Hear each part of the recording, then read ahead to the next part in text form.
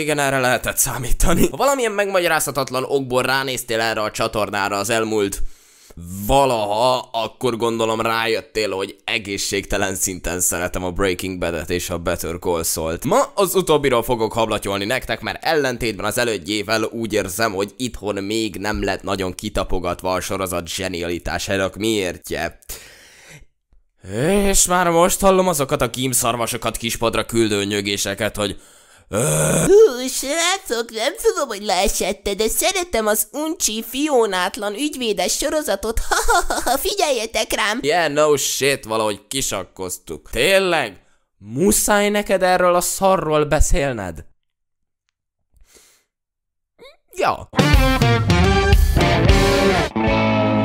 Az év 2002 is James McGill egy anyagilag és mentálisan küzdködő bünteti jogi ügyvéd az új mexikói Albuquerque-ben. Mióta azonban próbál egyenes életet élni a nála sokkal elismertebb ügyvéd bátyja Chuck hatására, folyamatosan kísérti a svindlis múltja a chicagói napok, amikor emberek lehúzásából élt meg. Ám egyszer mégiscsak visszameti magát az átverések világába, ezúttal viszont akaratán kívül is beleütközik az állam legnagyobb drogkarteljébe, így megtéve az első lépést afelé, hogy ő legyen hat év múlva Saul Goodman, az opportunista kamuzsidó kartelügyvéd. Ja, ja, ja, és ott van Kim Wexler, a barátnője, aki, aki nagyon fontos a sztori szempontjából, csak valahogy nem tudtam beleilleszteni a történésekbe. Ez egy előzmény történet, és mint előzmény történet rá lett nyomva az első képkockától a homlokára a kiszámítható címke.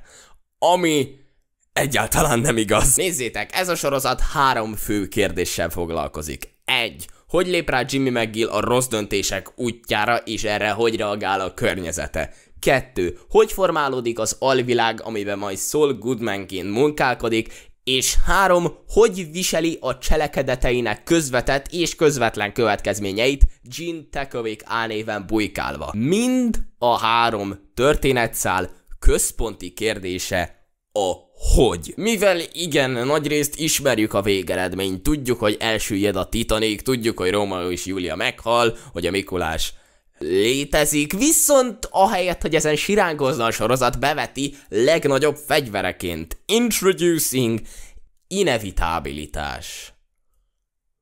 Vagy csak mondja annyit, hogy elkerülhetetlenség, te nyomorék szar. Mert néha csak szimplán szomorúbb az oh shit érzésnél az oh shit. Here we go again. Amint a karakterek újra és újra meghozzák ugyanazokat a rossz döntéseket más végkimenetelre számítva. The definition of insanity. Ha, ha, ha. Na de ha már szóba jöttek a karakterek...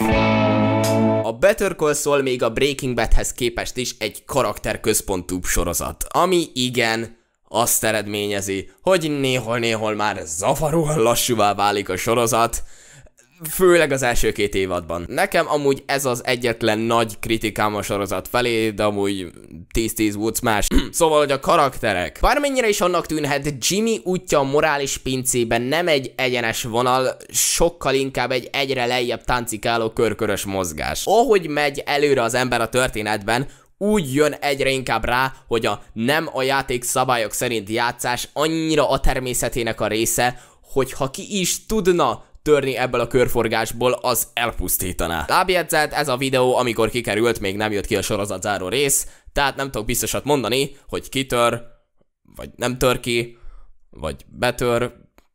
Szóval a többi karakterről viszont csak nagyon óvatosan merek beszélni, mert egy, nem akarom, hogy ez a videó estig elhúzódjon, és kettő, annyira hatalmas ívet futnak be ezek a szereplők a sorozat alatt, hogy nem tudok úgy beszélni róluk, hogy vagy ne legyek borzasztó sablonos, vagy ne lőjek le valamilyen mega spoilert. De azért röviden, így kell egy erős független női karaktert írni, így kell megtáncoltatni egy túlságosan sztoikus karaktert, így lehet egy karakter legfontosabb részévé tenni a homoszexualitást, anélkül, hogy karakterjegy lenne, így kell bemutatni egy beteg embert, így kell felfedni egy karakternek a valós érzéseit, így kell főgonoszt írni. Jó, Lalóra térjünk ki külön. Egyszerűen bámulatos, és sikerült Saul Goodman egy annó eldobott sorából kihozni az egyik legjobban megírt főgoroszt, akit valaha láttak buci szemeim. Tony Dalton karaktere természetesen megérthetően, de sajnos nem jelent meg a negyedik évad végéig, de akkor viszont jött, látott, takot főzött, csicsizett, lábtörőset ugrott, vlogolt, majd győzött. Látni akarod, mert ijesztően karizmatikus, de amint megjelenik, ijesztően karizmatikus, és konkrétan a legnagyobb kegyetlen seggfejek is rettegnek ettől a jól fésült latino mumustól. Finom párhuzam a karaktere a szabadszájú Jimmyvel, és erős ellentét a szűkszavú Gusszal és Michael. Love em. Na de ha már szűkszavúság, tudod ki a legszűkszavúbb ebbe a sorozatba, aki egy szó nélkül is el tud mesélni életeket? Ez a sorozat az egyik legszebb dolog, amit valaha láttam, pont. Nagy szavak! Kicsi kifejtés.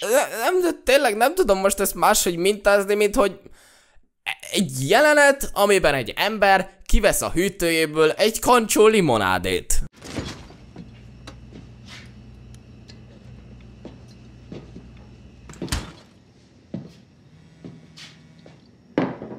Ez miért néz ki ilyen jól, és miért akarok most azonnal a számba egy kancsó limonádét? Nem ittam két éve. És hát persze, hogy persze, emellett még meglapul mind a hat évad, minden egyes szexzugában a végtelen szimbolika. Nincs időnk megint csak mindenen átmenni, szóval röviden, a kék általában a törvényes út, a sárga a bűn és az alvilág. Kimnek minél inkább ki van bontva a haja, annál inkább rakoncátlankodósabb kedvébe van. Jimmy minél színesebb, annál inkább szabadabbnak akarja mutatni magát, és ezen felül, ahogy megyünk előre az évadokban, egyre inkább sötétebb lesz a képi világ, ami amúgy így 99%-ban mesteri, egy százalékban meg kormos pártuc éjfélkor. Ami még nagyon menőséges az atmoszférában az a zene, de gondolom el tudjátok képzelni, hogy hány másodpercnyi anyagot vághatok be, anélkül, hogy az EMC porig sztrájkolná ezt a videót.